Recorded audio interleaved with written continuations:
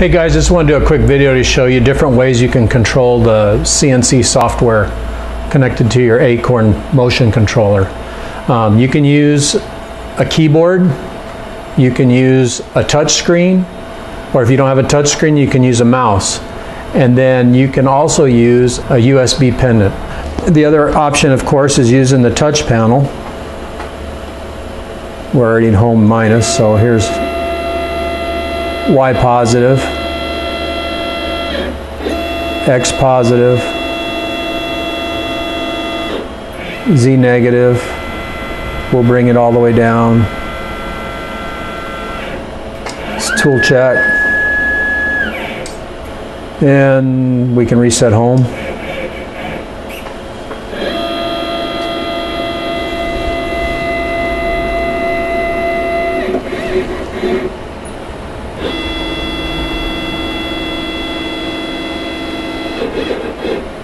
Now I'm going to show you the X keys pendant, and it's a USB pendant, by the way.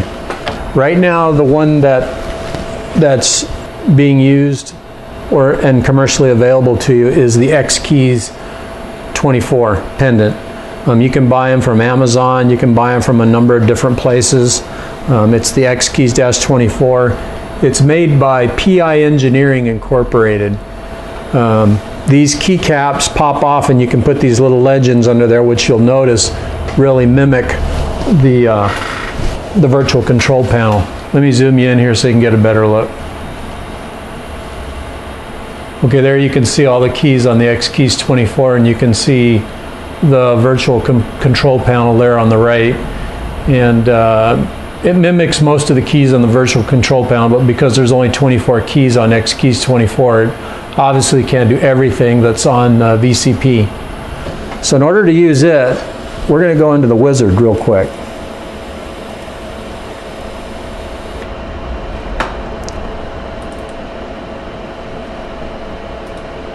And here's the wizard. and under spindle setup, it says USB jog panel. We're going to say yes to enable it.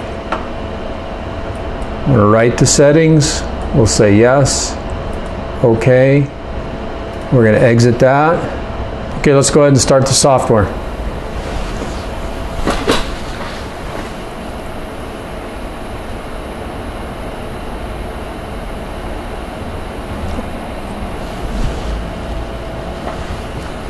Okay, because I exited the software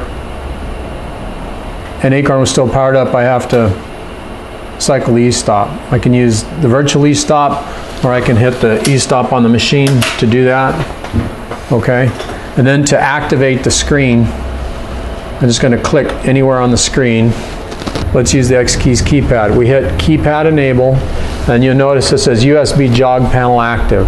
We should be able to jog the machine now.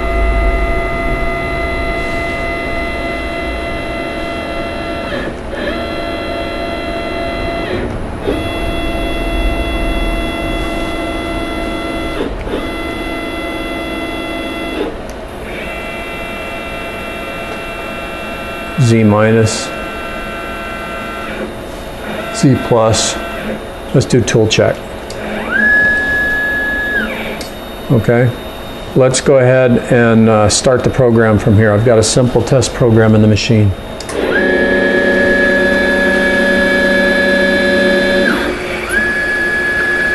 Let's do a feed hold.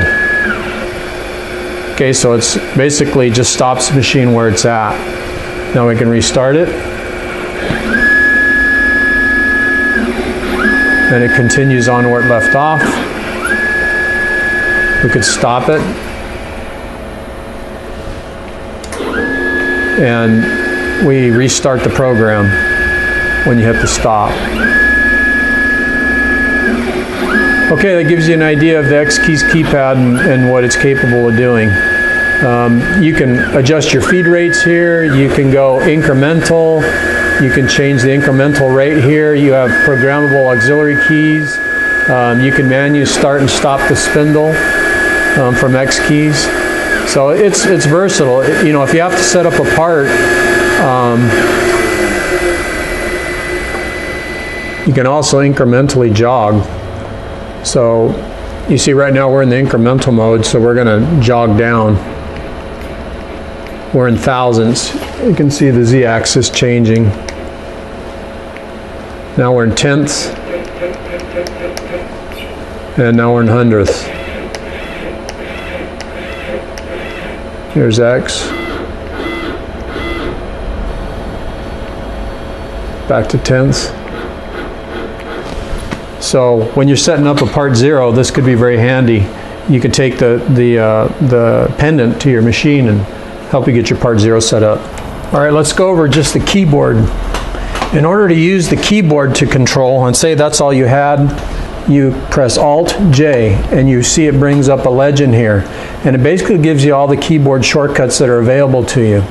So if you want to go from continuous to incremental, you hit Control I and watch up here. It's Control I. Now we've gone into incremental.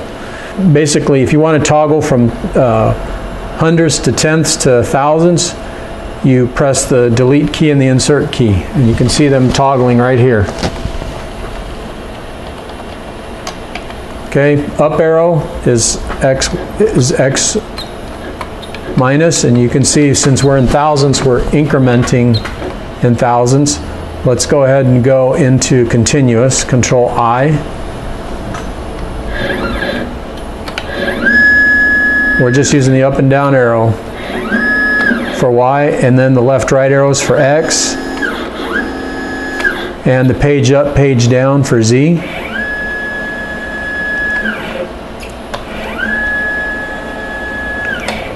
And to toggle from our speed from slow to fast, you hit Control F.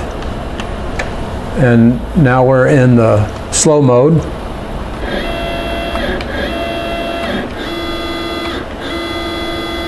And then the cycle start button is Alt S.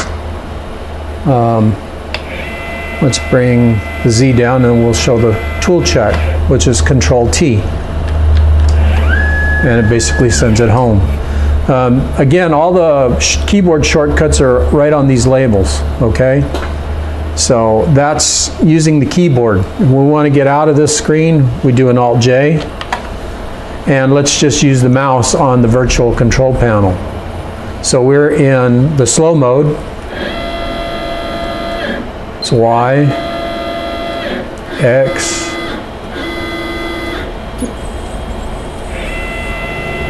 There's Z, bring it down. I'm going tool check, send Z home. And again, there's your cycle start button. If you want to go in single block mode, you can do that here. If you need to stop the program, you can do it here. And again, here's your auxiliary buttons if you have them programmed. These are all pre-programmed. Um, if you want to reset home, you can do that here.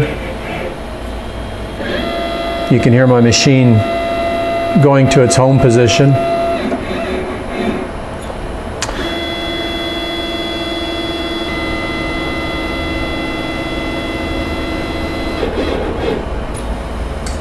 Okay, it's back to its home position. I hope you find this video useful.